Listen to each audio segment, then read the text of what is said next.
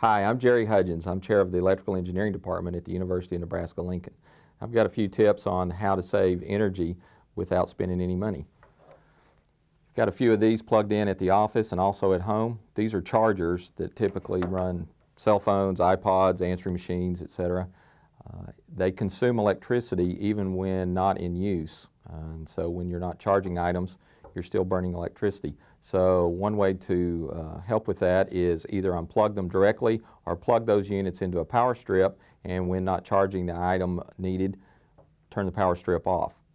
Also, uh, we have uh, lights that uh, should be used with spotlighting uh, to accomplish tasks uh, at hand, such as at a desk or at home reading or in the kitchen if you have task lighting near the workspace as opposed to large overhead room lighting, uh, you can reduce electricity usage uh, by using that spotlighting.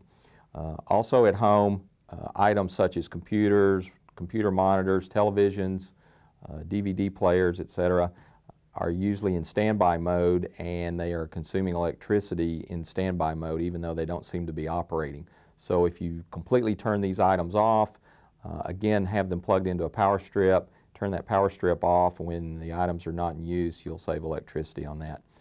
Uh, in the wintertime, we uh, are concerned with heating, and one of the biggest sources of heating loss in a home is through a window. So certainly, if there are any air drafts around windows or doors, those can be uh, stopped with towels or some other uh, foam, some other large item to, to help block that airflow. Uh, also cover uh, windows to help with, uh, to retain heat inside a home. close drapes, close the blinds.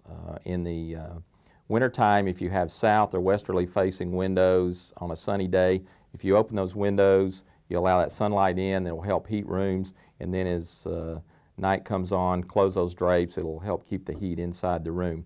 In the uh, summertime, we have a bit of the opposite effect, so you tend to want to keep the southerly and westerly windows shaded or partially shaded uh, to help block the sunlight coming in because that helps with cooling.